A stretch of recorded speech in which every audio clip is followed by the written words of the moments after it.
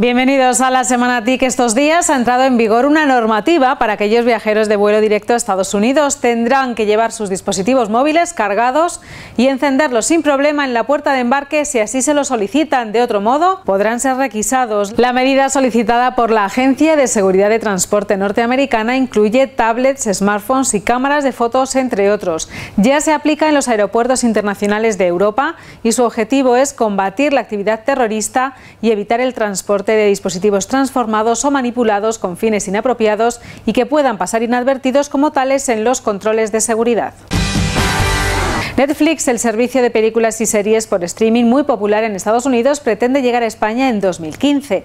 De esta manera continuaría con su expansión en Europa, un plan que le trajo hasta Reino Unido hace dos años y que pretende continuar este 2014 aterrizando en Alemania, Francia, Austria, Suiza, Bélgica y Luxemburgo en septiembre.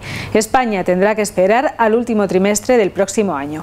Deciros también que Apple confirmaba este martes la compra del servicio de podcast de Radio Swell, tras lo que ha eliminado los contenidos de su web y su aplicación de la App Store. La operación le costará unos 30 millones de dólares.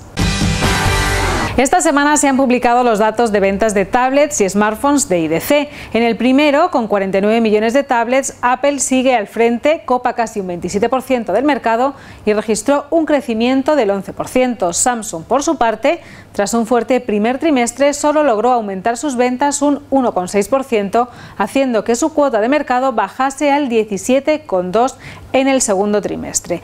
Las siguientes posiciones en el mercado están ocupadas por Lenovo, Asus y Acer.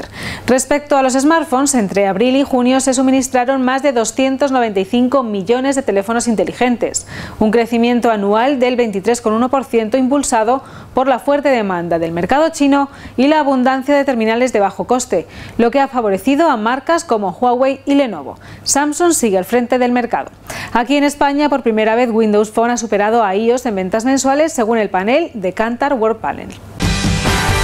Retomamos a Samsung porque el proveedor surcoreano ha llegado a un acuerdo con Telefónica que permitirá a los usuarios de televisores Samsung utilizar el servicio de Movistar TV a través de sus Smart TV sin necesidad de acoplar un receptor o decodificador. Y por su parte, Telefónica ha anunciado sus resultados del primer semestre, tiempo en el que ingresó casi 25.000 millones de euros y obtuvo unos beneficios de 1.903 millones, un 7,5% menos respecto al mismo periodo del año anterior. Además, la operadora se encuentra negociando la compra del operador mexicano Uchacel y también junto al Banco Santander ha presentado en Río de Janeiro la plataforma de e-learning Miriada X. Esta plataforma convoca a más de 1.100 universidades de 31 países y es la segunda plataforma de cursos masivos online en abierto del mundo y la primera en español.